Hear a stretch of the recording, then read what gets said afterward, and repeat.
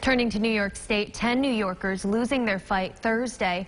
One of those in an Onondaga County hospital. The death toll now at 191, revised down by five based on new information from the state regarding nursing homes. In Jefferson County, the Department of Health testing more than 400 people Friday as they face an uptick in cases from the 4th of July weekend parties.